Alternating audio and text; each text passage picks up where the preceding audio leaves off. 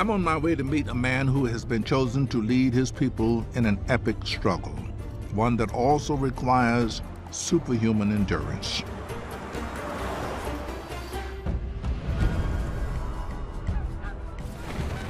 He's asked me to come to Devil's Tower in Wyoming. This is Chief Arvol Looking Horse, the chosen one of the Nakota, Lakota, and Dakota tribes.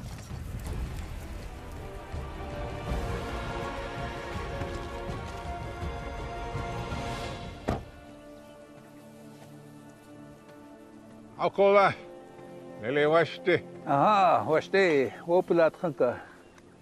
I brought him a gift of tobacco for his sacred ceremonies. Oh, thank you.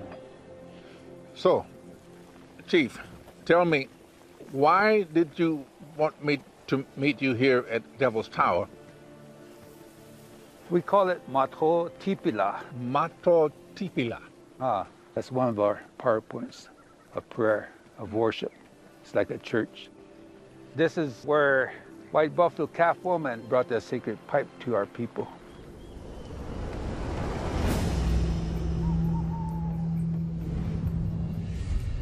So the story is that 19 generations ago, our people were camped here. At the time, there was no more food because people were abusing life. From a distance, they saw a cloud.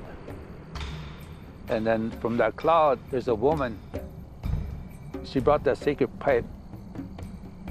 She said, I'm bringing this sacred bundle to you, that you shall live in peace and harmony.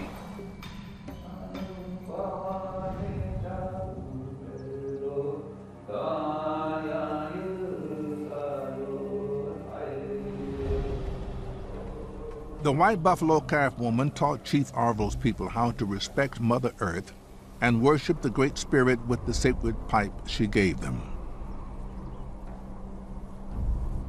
Does it still exist?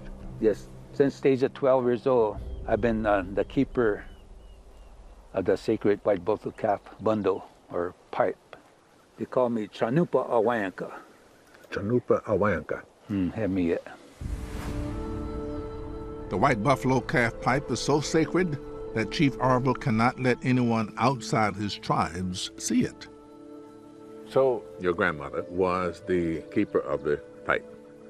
Yeah. She said that you were to be next in line. Yes.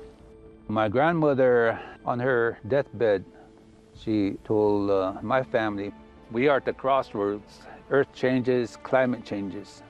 And that if the people don't straighten up, then he shall be the last bundle keeper.